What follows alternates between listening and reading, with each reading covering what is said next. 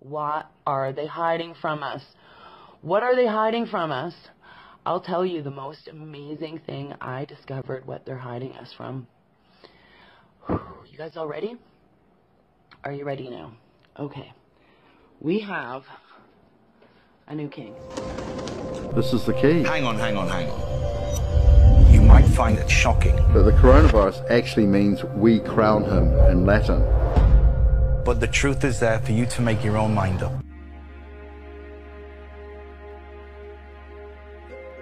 We have a new king! I implore you to do your own research and follow your own White rabbit. This whole QAnon movement, the whole revolution was started by an expression that says follow. The white rabbit. And the letter that Greg has from Queen Victoria has got the white rabbit on. It's actually here. It's actually here. And it's time now. It's time now. And here it is. The entire, the entire British Empire in a cutout over here.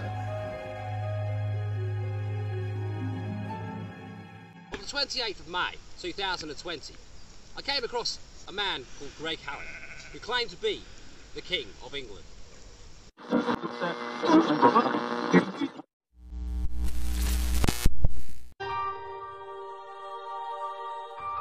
And in the gate, the crest has gone.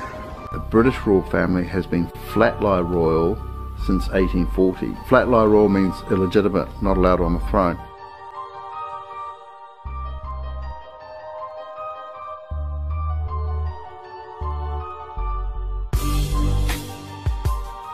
With this ascension to the throne and the current situation with the coronavirus, is this all tied in? the madness of all of this, you know, one of my favorite expressions was I was telling my friend, I said, listen, I'm going to go and interview this man in England who claims he has this right to ascend the throne. And he said, You're talking science fiction. And I, it took me a second, and I said to him, I said, Look at your life. You've been banged up for three months, lockdown, can't see loved ones. Mm. You got to wear a mask to go out. I said, What science fiction? We're living in science fiction.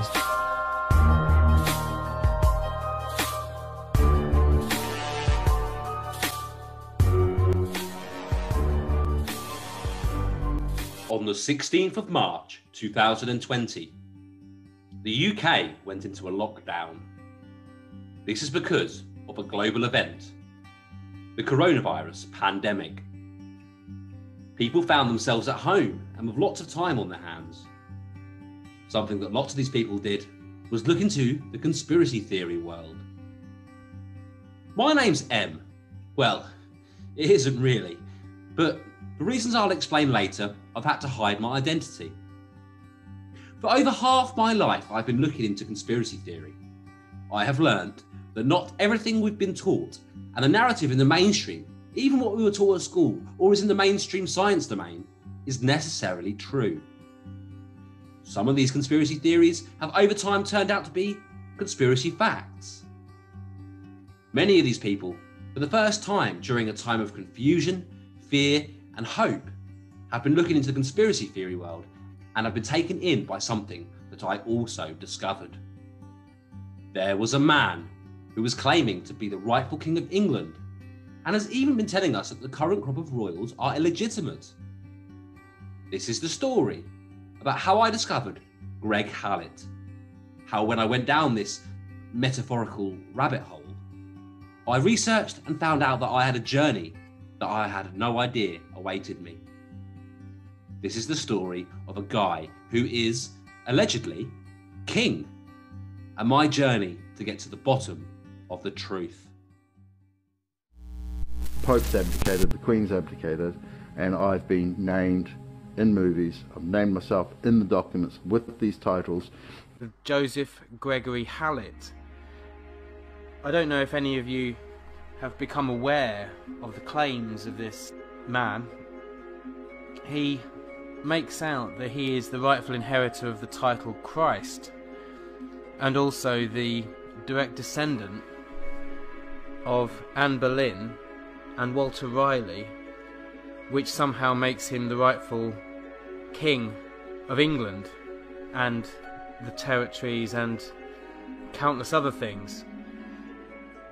He claims the rightful ownership of basically everything you, me, the entire world, the Catholic Church, uh, you name it. I just wanted to give you a bit of background on my journey with this whole Greg Hallett story uh, and how we've come to be where we are today with it. Um, so for me, I discovered Greg. Uh, I watched one of Raven Moonstone's videos, and uh, in it, she then tells us about we have a new king. Um, she tells us about Greg, and I was initially excited about the prospect. You know, um, I'd done investigation and heard about the current crop of royals into some shady stuff, uh, child trafficking. Uh, you know, you have the whole Prince Andrew um, sort of pedogate scenario going on, and I thought, wow, great. You know, if uh, this man is who he says he is, and he's going to uh, kick the royals out of Buckingham Palace, then that can only be a good thing, right? Also, I thought. From there, I added Greg as a friend on Facebook, uh, and I just sort of sat back, watched what was going on. Um, I done some investigation myself, and uh, you know, I just watched it for a while. Suddenly, I saw him thanking people for giving him money, so that was a big red flag for me. But I kept watching. You know, this guy still could be genuine. He was asking for, or his group of people were asking for 2,700 to process documentation for the courts. And then later down the line, I see that he'd finally collected £2,700 of people's hard earned money. And he came out with a post on his page saying this We bought a new server for three years. It cost exactly the same as the money raised 2,700. So we're keeping the pay lines open, hoping that people would still give him money. Funnily enough, the 2,700 asked for the processing of documents seemed to be exactly the same as the 2,700 needed for a new server. This was my first major red flag. I looked into his website and all the documents on it that he was claiming was the hard evidence needed to assert his claim to the throne. On inspection, although initially impressive, I found them very suspect, and later on I would investigate them more closely. And the harder I looked, the more suspect they appeared. And then I saw the videos from his family, his two sisters and his mother, telling you guys don't give him money. He's he's done this before. You know, he's he's got mental delusions. He probably believes what he's saying. Um, you know, and I saw him then shrug off these videos. You know, um, when people were pressing him for answers on them, he was just saying, "Oh, I've heard of the Cinderella story. You know, the the two jealous sisters and." not really giving us much. Um, and for me, him not addressing those videos properly was also a, a big telling point. He, uh, I saw people sticking up for him in his comments, and they were saying, "No, he's the real king." You know, um, these these these women are just uh, druggies, or they've been paid off to say these things. Um, and I saw nothing from Greg. And as I was then sort of trying to contest this all that Greg was doing was thanking the people that were sticking up for him, but not giving any more information. And I was saying to them, look, he's he's backing you, but he's not he's not saying anything. He's just saying thanks. He, well, he's not backing you. In fact, he's just thanking you for sticking up for him, and he's not giving us anything. He's not addressing these videos properly. So from there, I'm sorry, but um, it was clear to me he was lying. So um, there was that, and then I kept on looking, and I saw some more ridiculous claims from him. So one of the most ridiculous ones for me was during the time of uh, the coronavirus, um, which we're still going through now. When the NHS, you know, we were trying to, the, you know, the, the, the country went into lockdown, um, and all the British public would come into their doorsteps to clap for the NHS, the, you know, the National Health Service. Or so they thought. So Greg claims that they are actually at their doorsteps clapping for new Hallett Sovereign, right? So they're all at the doorsteps clapping for him. I'm sorry, but bullshit. So that was one of the most ridiculous ones. The other one was um, Prince William made an address to the nation, and apparently at one point he bows his head down to show that he's got no hair. And he says, No hair, no heir, no heir to the throne. I mean, come on. That is just ridiculous as well. Very, very weird little skit, I suppose you'd say, between uh, Stephen Fry and Prince William as part of the comic relief thing. Oh, come on, you lot. I thought Germans were meant to be punctual. I'm, I'm here, Melchett. Oh, Your Royal Highness. Very good to see you, sir. Come on, even five-year-olds have mastered Zoom. Sorry about that. Complicated stuff, Zoom. Isn't it? How are you, Melchi? Have you been self-isolating? Yes, I'm here with my old friend Lord Blackadder. Our grandfathers fought together. Constantly, I'm told. Just the two of you? Well, no. Uh, he brought along a curious little fellow called Baldric, who smells of turnips. So, how's the homeschooling going? it's a bit of a nightmare, really. Well, I'd be delighted to help if I can. Um, what subjects are on the curriculum? Spelling? Well, I could probably help with that. I can do most words from cat to contrafibularities. What, what about history? I'm not too bad on kings and queens, but then I'm guessing that that may also be your strong point. You'd think so, wouldn't you? Uh, how's your French? J'espère que j'ai une foi de familier et du classique. I literally have no idea what you're talking about. Happy to serve, sir. And uh, to return to the matter in hand, this is your 60 second warning. All right, thank you so much. I'll, um, I'll go and get the family together. Mm, excellent. By the way, have you seen anything good on TV? It's hell without EastEnders. Isn't it? Uh, they tell me Tiger King is rather good. Yes, I, uh, I tend to avoid shows about royalty. And there's now 45 seconds and counting, sir. I think our time is up. On my way. Let me just see if I can find my socks. And my shoes. And my trousers. Hmm. Excellent. Job diddly done done done.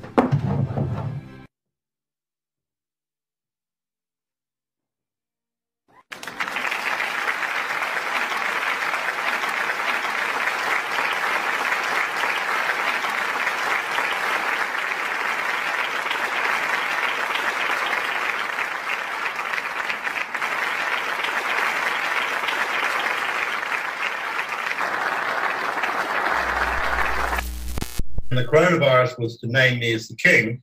So you've got all these people standing outside their houses at 8 p.m. on Thursday night clapping the NHS. Right? But NHS stands for New Hallett Sovereign. Fascinating. So they're actually standing out clapping me in. And Prince William abdicated to me as well as all the others. He um, he was getting interviewed and he said, I don't have any I don't have any shoes, I don't have any socks, I don't have any trousers. And that means that he is the emperor with no clothes. Right?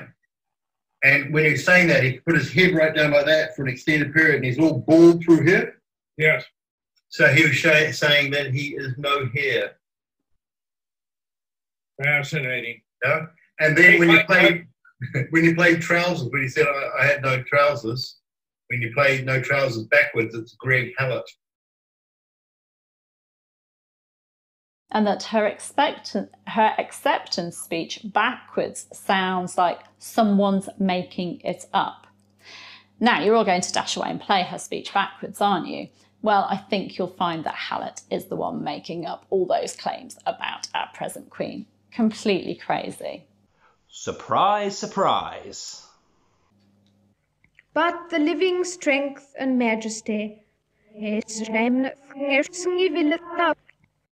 So after that, people started getting in contact with me, and I then developed um, unintentionally a little network of of people uh, adding me, and they were telling me about their experiences, and um, some of them were they'd given him money, um, and then they'd realised soon afterwards that he might not be genuine, and then when they start to ask questions, they get removed from the groups or um, they get ostracized from the from the community. You know, I mean, th- these Greg fan pages are, are, are like a cult, to be honest.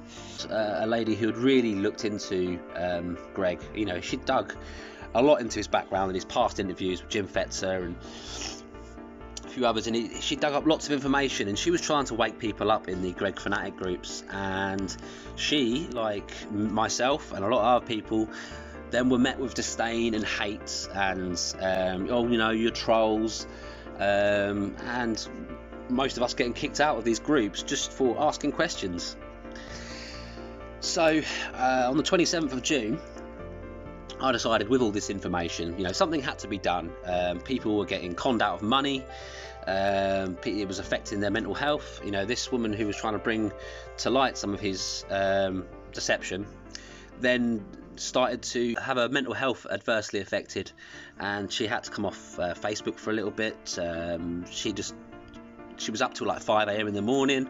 You know, she was really kind of brought down by the whole thing, and that no one would believe her. You know, so I felt it was important to try and wake people up to this deception. So what I did is I obviously had this small network of people. Uh, decided to start a group on the 27th of June, uh, and this group is to try and share information um, without the the the hates uh, and you know the, the, comments from all of the Greg fanatics uh, amongst it. You know, so we could freely share this information and collate it all together, so we can have a bigger picture, and then we can use this bigger picture to try and wake people up in the Greg fanatic groups. Through meeting many of these people, because of the same mission that they were on to help others by trying to wise people up to this apparent deception, I managed to create a network. This led me to creating a group, a Facebook group, a group we called Allegedly King. Here we are. Um, it is now the 12th of July, so uh, what's that? That's like 15 days. There must be more than that it feels like more than that that we've been doing this group and already tons and tons of information um, has come to light. Uh, and, and this information has come from like I said ex Buckingham Palace insider. It's come from people that know Greg personally you know his family um, people that uh, that lived with him or were friends with him in the past. Uh, it's come from avid researchers you know I've had uh, people interested in history or clinical uh, psychologists, etc., contacting me, um, and we're just gathering loads and loads and loads of information. And the hope is that we can uh, put together something big to try and red pill these guys who are duped by this great deception. Uh, in this time, we've seen three parts of the Hidden King documentary come out. Uh, in all three parts, it's full of baseless claims, um, you know, no proof, no evidence. Um, it's just filled with uh, his take on uh, prophecy. Um, basically, you know, he even admits uh, that he read the Bible and he tried to fit himself into into the prophecies, into that story. So that's just a quick update of my journey and where we are today. One of the people that I was trying to reach in the Greg Hallett fan groups gave me a hard time for trying to share the knowledge that I had collated. It turns out that after receiving such a hateful reaction from her, that she would, from that scenario, go into investigating herself from the evidence I'd given, and that she would find out from her own investigations that this story was very suspect. I had an application for Sharon to join my group, I declined this application and explained to her that she had behaved horribly towards me when I tried to help. However, after giving me a backlash for trying to share the information, She had discovered herself that this story was likely fabricated in her eyes. She then apologized to me profusely. She said, I'm very, very sorry for treating you like that. However, after your interaction, I looked into it myself and discovered that you may be right, that Greg is not genuine. And I am very, very sorry. And I hope you can forgive me. Although I don't care about money, I care about the people. Now, today, me and Sharon happen to have reconciled. I have forgiven her, and now she is helping with a cause to help others wise up to this deception. This would be the first of many confirmations that I was helping people and motivations carry on with my cause and with my group help many others. Through this network that we built, I managed to get hold of people that knew Greg, his family, his sisters in particular, and also Tom Carhill, who he lived with for four months. I started to make videos for the group. I also started talking to the sisters about potentially making some videos with them to highlight some of the information that would show the real Greg Hallett. In this time, I also decided it would be a good idea to be careful of my identity. If I was going to make these interviews, I may as well make a YouTube channel to bring this to light. It was at this time I decided to make my pseudonym M, Seeker of Truth. With, and then all of a sudden they started pushing that Buckingham Palace was getting ready for Greg. I decided to do some groundwork. If I was going to prove that these claims about Buckingham Palace were absurd and also that they were untrue, I would have to travel to London and go to Buckingham Palace myself. And that is exactly what I did. We're at Buckingham Palace and it's Friday, 24th of July, and I'm here to show you that some of the claims that Greg makes about Buckingham Palace getting ready for him is not true.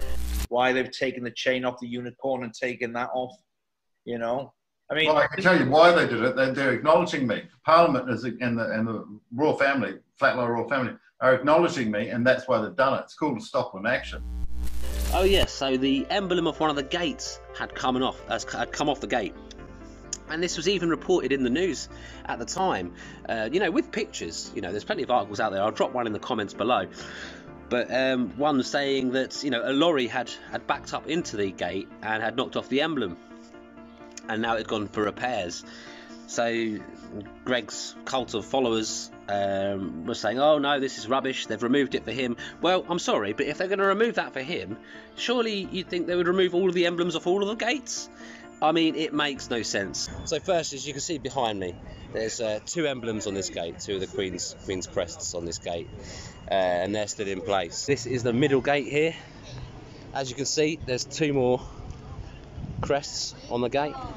Uh, so Greg supporters have been saying that the right gate has one of the missing crests because of they're getting the Buckingham Palace ready for Greg. And here on the right gate, there is still a missing crest and one other crest. So my question is, how does it make sense if they're removing crests for Greg that there is still five crests on the gates? It makes no sense. If you're getting the palace ready for someone and you're removing a, cre a crest from the gate for that reason, then you would think that they would remove all six, right? It makes no sense to me. Then they took a picture of what they said was a Gurkha um, guarding the palace. Oh, where's the royal guard gone? Oh, they've disappeared because uh, Greg is, is moving into the palace. You know, and he's backing these claims. And then I find out that actually he uh, these these guards were actually RAF men, and they have traditionally always taken turn guarding the palace. So I got this information from um, from an ex Buckingham Palace employee, but uh, actually uh, a lot of my network uh, then informed me, oh yeah, well, I've always known this. You know, I've taken pictures. I've, i went even went there as a kid and used to see, you know, RAF men taking taking turn on guard, and also on guard.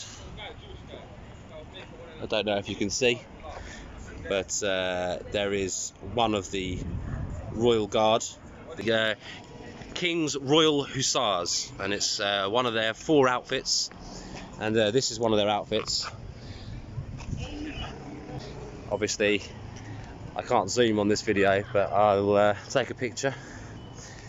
So, firstly, you've got five out of six emblems still on the gates. Secondly, you've got Royal Guards, the King's Royal Hussars, guarding the palace right now.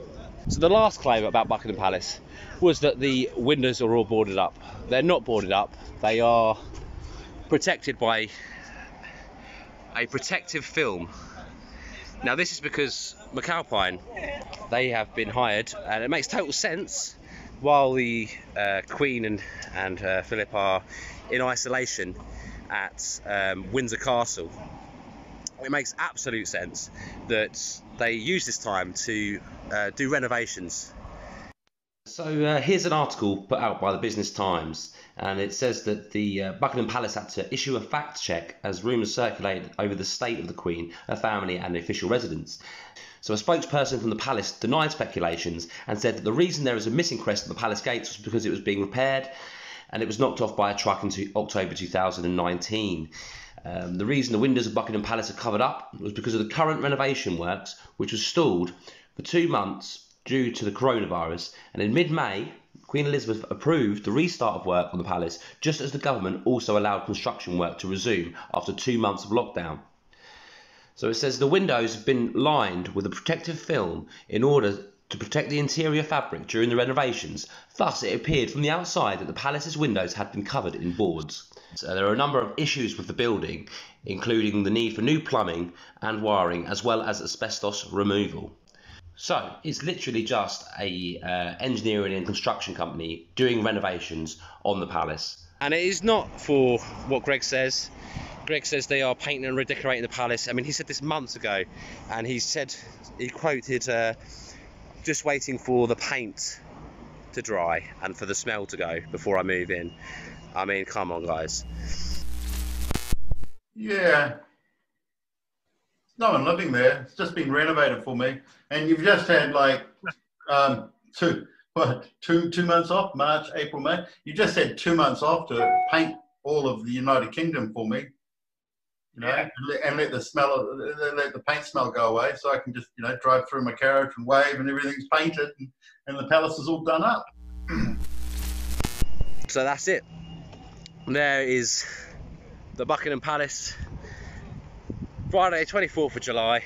About two years ago, I think it was in 20, 2011, um, I, I'd, I'd, read a book by um, somebody called Greg Hallett, and um, I'd listened to radio interviews he'd done. This guy wrote this book uh, called Hitler was a British Agent. He also wrote another book called uh, Are You My Father? And he wrote another book called New Zealand, a Blackmailer's Guide. I read his book, and I was listening to the thing about the world being run on shame, and I thought that was interesting. His other thing, which I found even more interesting, was he was talking about the construction, deconstruction, and construction of the subconscious. Your subconscious is responsible for everything. It leads your conscious mind, and uh, if you if you can somehow get into someone's subconscious, you can sort of make basically make them never go anywhere. And if you can kind of help the subconscious improve its ability, you can basically achieve anything. So that's what I found incredibly interesting. And I wanted to talk to him about this. So I got in touch with the guy. And the only reason I got in touch with him is because when I got the Hitler's was a British agent book, it actually had his email on it. He said something like, enjoy the book. And I thought, this isn't from a book company, this comes straight from him. So I got back in touch with him. I spoke to him on Skype once and he said, oh, I'm coming to England. And I said, oh, right, well, when, when are you coming? And he said, oh, I'm coming in about two weeks. And he said, we, should meet up for a chat and stuff. I said, okay, no problem, because I said, oh, I like your books, I'm very interested. Because I did really, really want to speak to him. I wanted to speak to him a lot. And um, I don't think I want to speak to anyone more than this, because I really did. So without him getting a big head, he has got a big head, you know, I really did. So, and then when it got close to the time, I said, so what's happening? Are you going to meet up? And he said, yeah, yeah, yeah. And I said, well, where are you staying? And at the time, I had a spare room. I was staying in London, and I said, "Well, you might as well just go and go and stay in the spare room for a bit, because again, I wanted to speak to him. And what better? You let him stay for a bit, you're going to get to speak to him, aren't you? Well, you'd hope so. Um, so, all in all, I was very, very pleased. Um, and I, I, picked his brain for a while, spoke about lots of different interesting things, and he stayed for quite a while. In the end, he stayed for really quite a long time, which suited me down to the ground, didn't put me out really. So, that was that was lucky. Thing is, like, some of the things Greg comes out with, like, um, are definitely true, and some of the things he's he's he's been told are definitely based on like genuine knowledge and genuine intelligence. People definitely do tell him stuff. So anyone who says no, no, he's just making it all up, he's just dreaming it all up, that's not the case. But some of it, I don't believe. In the end, me and Greg fell out, right, because he did something which he shouldn't have done, and he kind of compromised me, me and made me look like a dickhead because I introduced him to somebody. It was a guy who'd written a book, and um, or he'd written a transcript of a book. Then Greg had got hold of this transcript, sued someone else, and then he'd sort of written it up, edited it, but he couldn't find the guy. This is his story anyway, and I don't think he could find the guy because I know uh, I spoke to the guy's agent, and also he had a lawyer cousin, and the lawyer cousin said, No, I, I, got emails from Greg Hallett. I thought he was a nutcase, so I thought I wouldn't put him through to him. And the guy whose book it was actually said, Oh, well, I would have wanted him to speak to him. If he's telling Porky Pies, they're establishment Porky Pies, this guy, his credentials add up. I've been in his house two or three times. So, with the greatest respect to him, I don't know if he's telling the truth or not. I haven't even read the entire book. And Mountbatten didn't want to write a boring book about um, the war. He wanted to be kind of like interesting. He didn't want it like a military report. This guy was called John Ainsworth Davis. He used to write under a pen name called Christopher Creighton. He used to be a good friend of Ian Fleming, and he also knows Roger Moore very well. Um, and basically, the point is, this guy looks like very likely that he was the inspiration for James Bond. So he was working in the film industry afterwards. I fell out with Greg because Greg, um, when he had sort of located this guy, we said he couldn't locate. He said to me, "Well, you, you know," I said, "Well, I happen to have uh, met this guy," and he said, "Oh, could you introduce us?" And I said, "Yeah, so long as you don't go round there fucking being a big Billy Bar- Big Bananas twat like what you often are, and sort of bullying him because I know what you're like. You're like manipulating people and you don't care. You're a bit, you're a narcissist. You bully people. Um, he doesn't bully me, but he bullies virtually everybody else. It's quite funny. It is actually very funny, but it's also extremely obnoxious. And I thought I'm not having him going around to some elderly person's house and like just basically doing their heads in. You know, I don't want them dying or you know being really upset because of his obnoxious behaviour. So he goes, yeah, no problem, no problem, no problem. And he goes around there, and he was being a bit of a twat, but like he was being less of a twat than what he usually is when he's got an audience.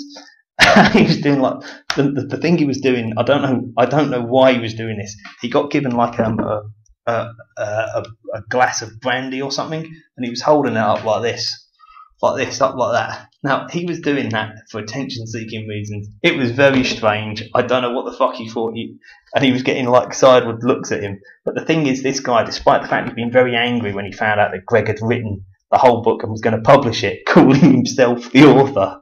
right? he was very angry. He wanted to call the police. When before I got Greg round this time, you know, he calmed down and he thought, "Fucking hell!" Like he's he's actually put an index in. He's done a very good job of it. But what Greg had done, what you just got to say, what the fuck's he doing?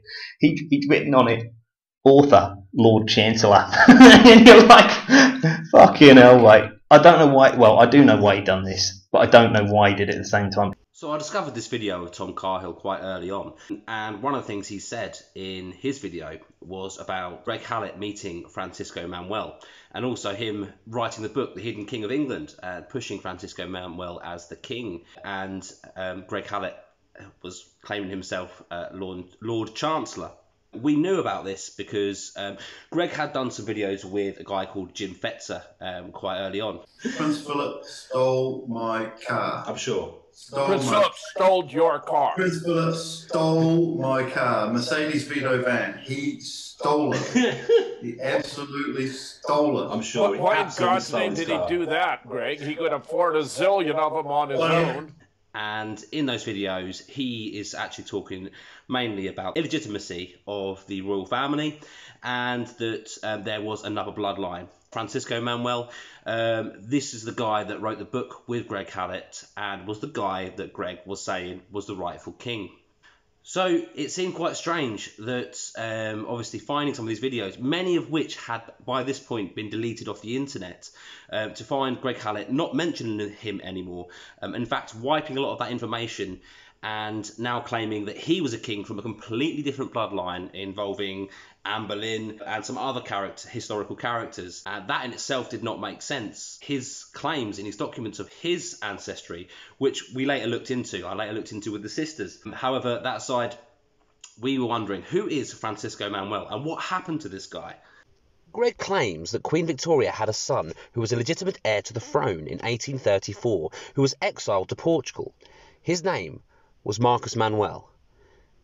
Greg was backing Marcus's great great great great grandson, Francisco Manuel, as the rightful heir to the throne, long before claiming this right as his own. Together, Greg and Francisco, they wrote the Hidden King series. Now, funnily enough, this can't be found anywhere. It's unavailable on Amazon or anywhere else that I've tried to find it online. And I think this is because he backs Francisco as the rightful king in the books. After writing the series, Greg decided to cut ties with Francisco and claim himself as the rightful heir. So my questions are, what happened to Francisco? Why can no information be found on him? I've searched all over the internet. I found very little. Why can you not buy this series of books anywhere online?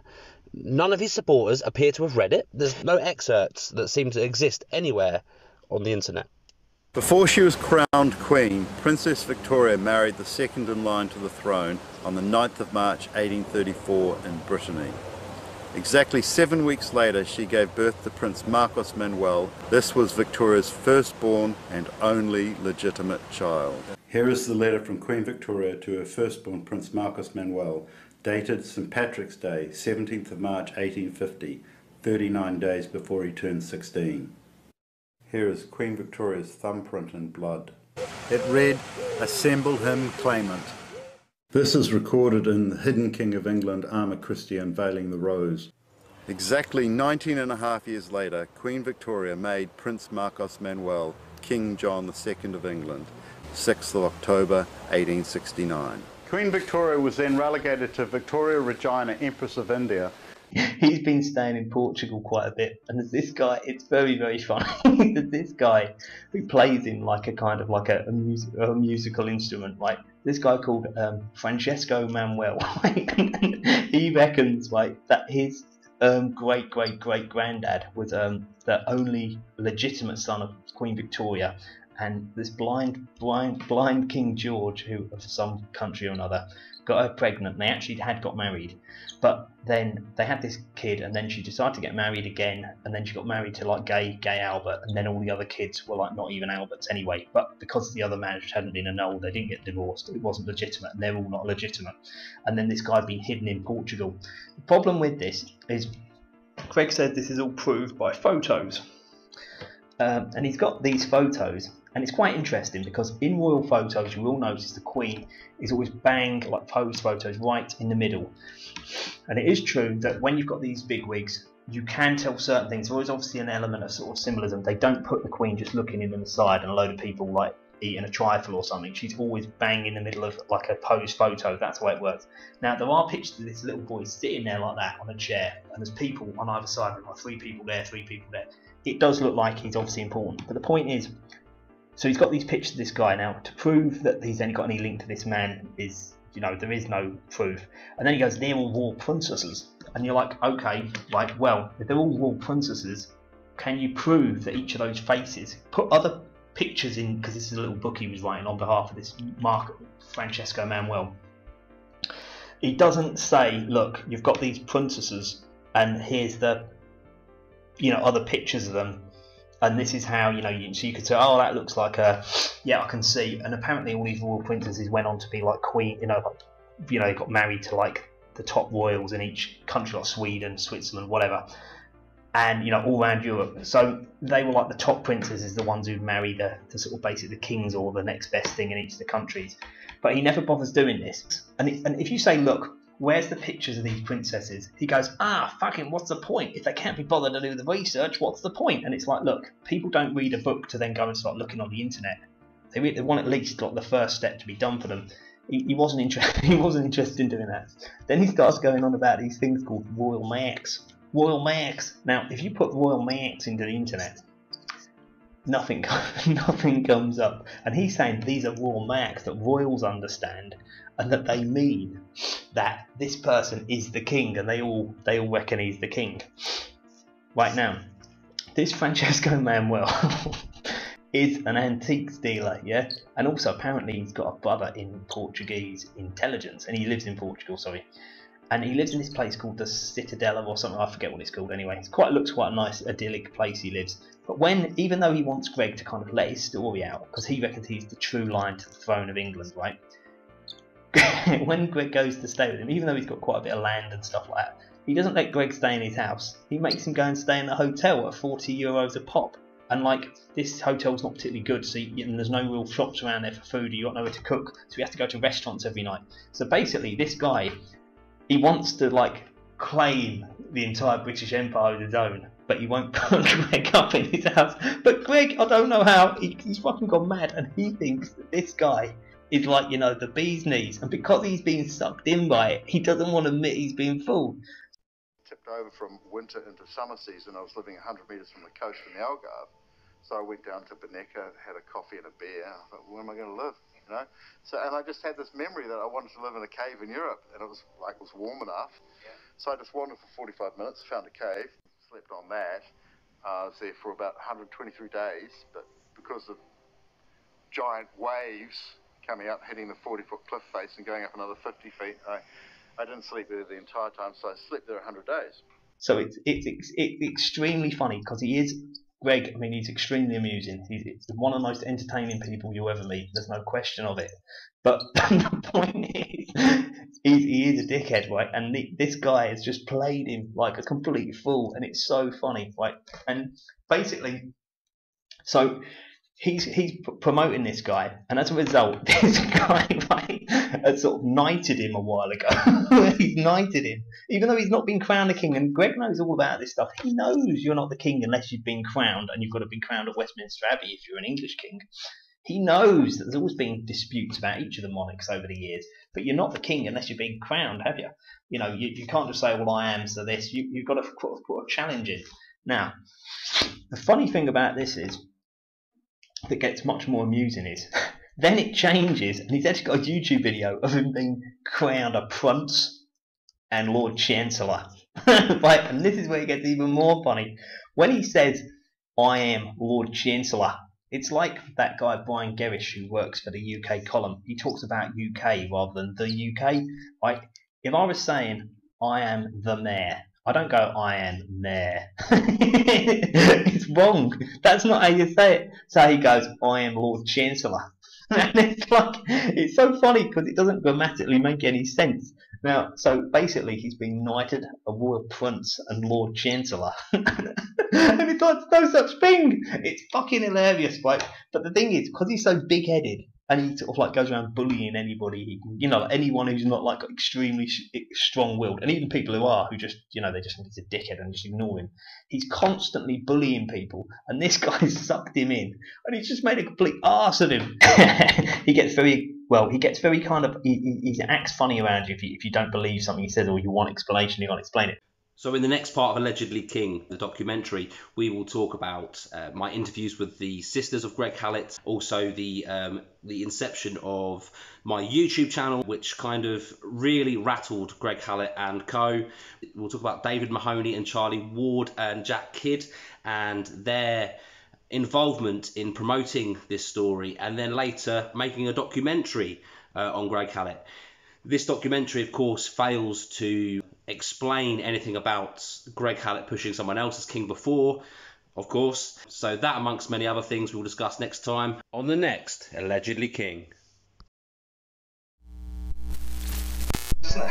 Well, it's true. Yeah. You know, it's true. What's actually going to happen is the crown and the orb and the scepter and the sword are going to be left on the throne. The gate's going to be open. I'm going to walk in and I'm going to sit down on the chair. Someone's going to put the crown on my head, take a photo, and we're going to send that around the world, and then we'll have a ceremony later. That's actually what's going to happen. Let's see. Uh, we're doing it, and be part of it, and come along for the ride. It's happening. It's absolutely happening. It's a Ranga, the awakening.